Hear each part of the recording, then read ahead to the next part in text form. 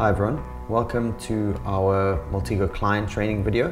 So we're going to show you uh, how to use the client, some of the features that you might not have seen before, and ways that we generally use it uh, to be a little bit more efficient. So in this case I'm going to be using Maltego Community Edition, uh, so the free version, and I'm just using the latest that we have. You'll see here I'm going to start it up. So one of the first things you'll see when you open the Community Edition is that you need to register. That you can do on our website. You can also download the application from our website um, and it should be quite a painless process. So once the application starts up, the first thing it's going to ask you is just that you log in if you haven't logged in before. So we haven't. So here's the wizard. So I'm going to click next. It's going to ask me to log in with my email address and password. Just going to do that fill in the capture, and it will say that I've now got an API key that's valid for three days. So in three days time, I'll just have to log in again, uh, but it shouldn't uh, take too long or too much time. The next section, it'll ask you if you want to use the public servers or if you have your own. Most of the time, you'll just pick public servers, hit next, and it will now install all the transforms, um, and we'll cover what those are a little bit later. So here it copies, uh, installs all of that, uh, adds the entities, and then it will ask us what we want to do. In this case, I'm going to pick uh, go away and we're going to uh, start from a blank install. So I'm going to say go away, I've done this before, uh, just so that we can do everything uh, like the very first time. Okay, so the first thing you want to do uh, when using Maltego, so it's a, a, graphing application that allows you to do link analysis and it also will help you mine uh, particular types of data, is I want to start a new graph. So you should think of a graph as either an investigation or a part of an investigation. So one of the ways that you can start a new graph is click on the global application icon. That's at the top left. I'm just going to maximize that. And you can say new, and that will start a graph. And you'll see that once you've got a graph, the whole outlook of the application changes. Uh, the palette where we have entities is there, um, and the other windows come to life. Another way that you can do it is you can just click on uh, the little icon next to the application icon. Click on that, that'll start one. And the shortcut that we use uh, most of the time is that you can just use Control uh, T or Command T on a Mac. Okay, and that will start a new graph as well. So once you've started a graph, so remember that can be thought of like an investigation or part of an investigation. On the left, you'll see that this uh, under the palette is uh, all of our different types of information. So these are called entities in Maltego. So they are categorized uh, into a few sections here. So you can see under location, uh, under personal, there's a few. And if I want to use this type of information, all I need to do is drag it onto the graph. So for example, if I want to add a person here, I can drag this person entity, you'll see it follows my mouse cursor, and I can drop it onto the graph. Okay, I can do the same, so add a location, uh, maybe add a domain as well, and now I have these entities on my graph. So the first thing you'll see that if you've selected something, this little yellow box, uh, you can just drag it around uh, the graph to be able to put it wherever you, wherever you want that. Okay, if I need to change the type of information, so I've added a person here, but obviously John Doe is not someone that I either have the data for or I'm interested in getting data for. I can do that by double clicking on it. And you'll see you get quite a big detail view. You can change the details uh, of this particular entity. Uh, you can click properties, notes and attachments, uh, things that we'll do a little bit later. One of the ways we generally don't do that so the way that we do change the information is that we'll just double click on the text and then I can change it um, just a lot quicker than going into that view the whole time. So I change my person entity to my name and the location I might change to Cape Town. Okay, now I have these entities modified. Um, if I want to link the entities together, so remember it's a linking tool to get that intelligence, what I can do is make sure that none are selected that I'm interested in, and then drag uh, a line from the first entity that I want to link to the second one. So here you can see I'm going to drag from my name down to the location and if I let go it will then give me uh, the properties for that link. So I can say lives here and I can give it something like a color. I can set style and thickness and other properties. Okay so there it will change it. I can also say link uh, maybe me to that domain and I can start building up a graph from various types of information. So that's a nice way to be able to add information to your graph change the details, and then quickly link them together uh, to, build a, to build a view.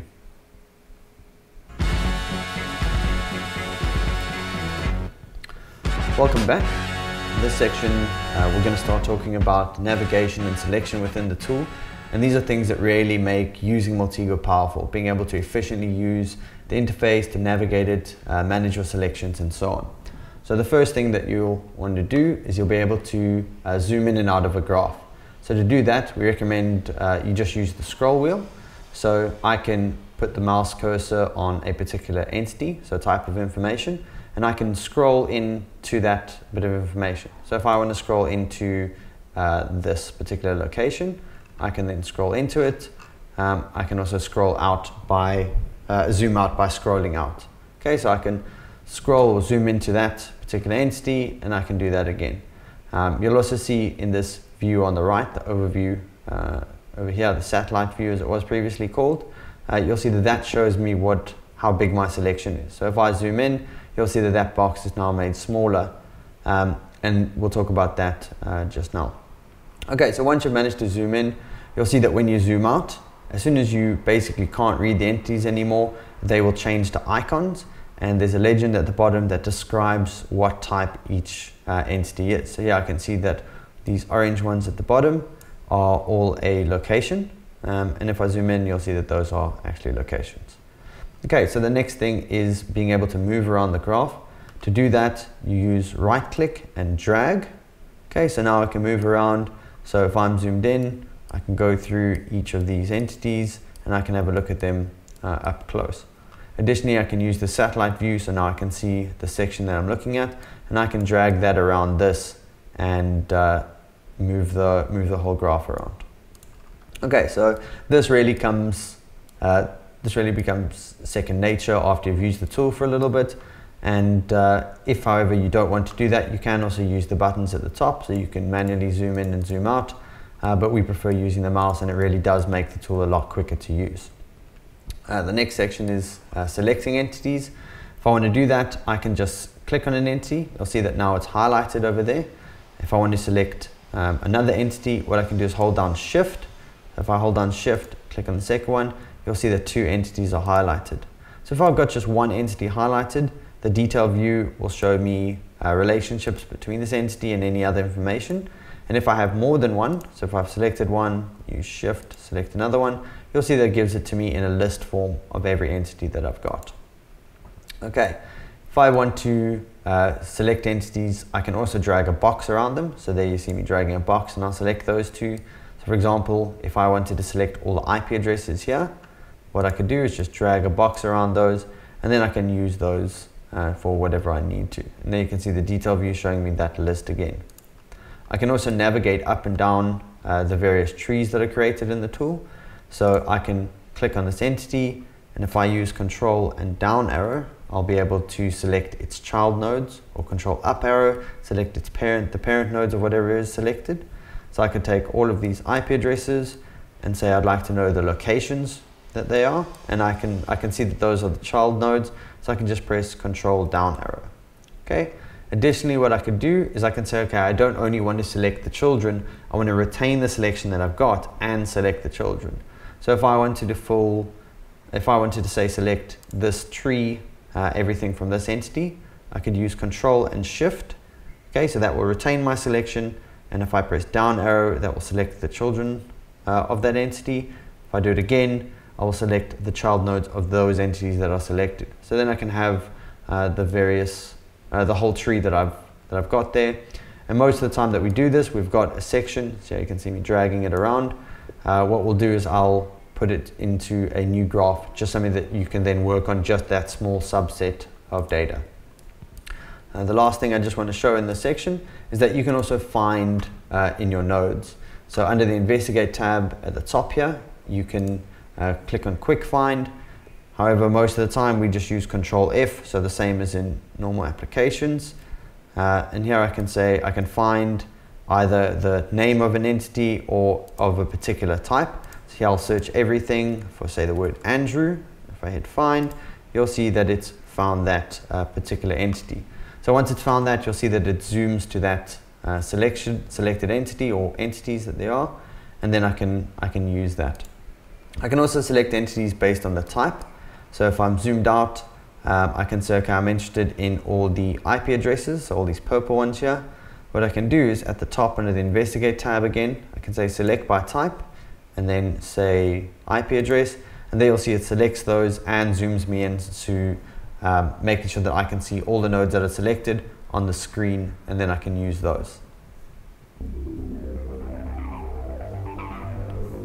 So in this section, we're going to quickly look at uh, putting data into the tool as well as uh, quickly being able to take data out. So one of the ways we already covered earlier, uh, it's in the first section, is that we can manually add data. So I could add um, a few entities here and then I could link them up uh, together. So that's the basic way of manually adding something to the graph uh, and one of the things that you can do uh, if you have the data.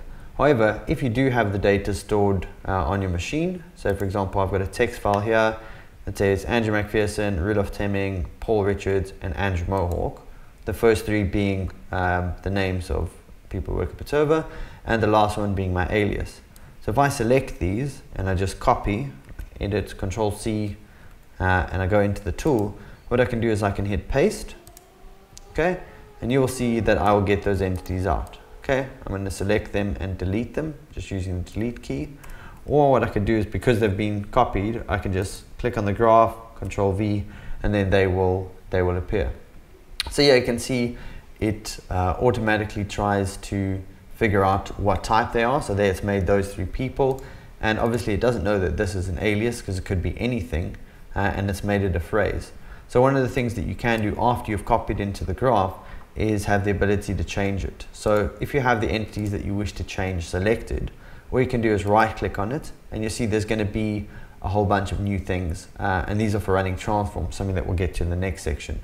Um, but what I can do is I can say select the one that I want to change, right click, go over the change type icon, so you'll see it's the third one. Uh, if I click on that, it'll say what do you want to change this to and I can say okay well I want to change this to an alias and there I have that as an alias. So it's quite easy to copy in and out of the tool. Um, what I can do is I can also, I can select these. Let's say I was interested in taking this data out of the tool. So I want to use it in a report. I want to email it to someone. What I can do is select it and I can either click copy up here and say copy as value list. And that will just take what's shown on the graph. And if I put that into this document, you'll see that those are, are copied in here. Additionally, I can right click to get that whole screen again. And I can say, um, I can click on uh, copy and then I can say copy as value list. So you can do it there as well and then I'll be able to paste that in here and I have that data in. So it's quite easy to be able to copy data in and out of the tool um, and there are a number of shortcuts. So either using the shortcuts up here or being able to use them in the context menu. Um, lastly, you can obviously put data in uh, by running transforms and that's what we're going to cover in the next section.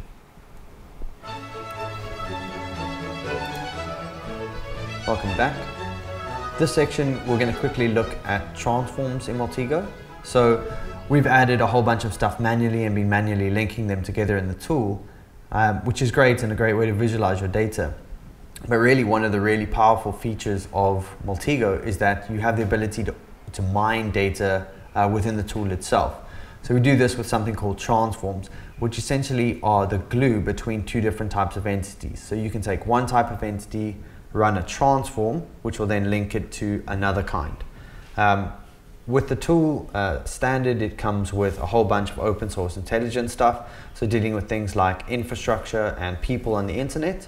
Uh, but you can also use the tool to add on uh, third-party add-ons, where people have written uh, different transforms to visualize, to visualize different data sets. So what we're going to do is we're going to use uh, some of the free ones that Roelof wrote to visualize the movie database. So what I can do is I can just click on the Manage tab and then click on Transform Hub. And this will take me to the hub where I can add different transforms. So I'm going to hover over the movie database and I'm just going to click on Install. Say yes, I want to install this. And this is just going to automatically install this into the tool for me. So now I'll have the ability to visualize a new type of data. And there you can see it added three new entities um, and a bunch of other things. So I have this data in the tool.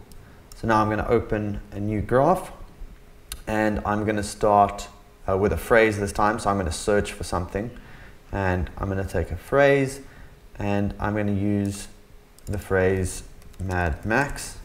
So I like the movies and you'll see that now I can run a transform that says search for movie. So if I right click on it, I get a list of different transforms that are applicable. So the glue between entities for this type of entity. So I'm going to say search for movie and it asks me for an API key.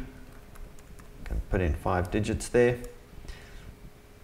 And now it will return a whole bunch of entities. So this is where I didn't have to manually do it. It will then go and query this data and return them.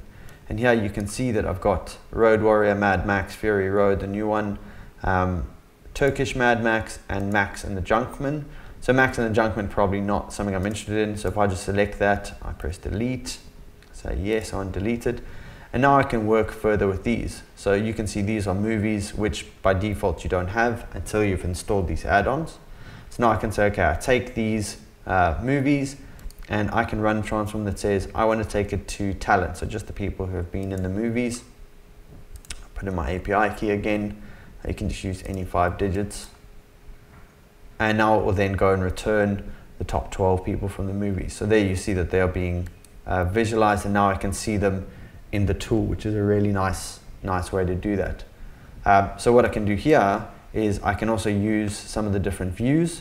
Uh, so these are here at the top and I can use something like Bubble View, which is a great way to visualize data and see, okay, what is most connected in my graph of information. And here you'll see that obviously Mel Gibson uh, featured in three of the films, so he's the largest uh, of these nodes. And I can switch back to main view as well uh, to see the data as I was working with it. So it's a nice way to be able to say, okay, not only can I visualize data this way, I can also, um, I can also use it in the tool. So just a, one more example uh, kind of tying in everything else that we've done. So I'm going to start a new graph here.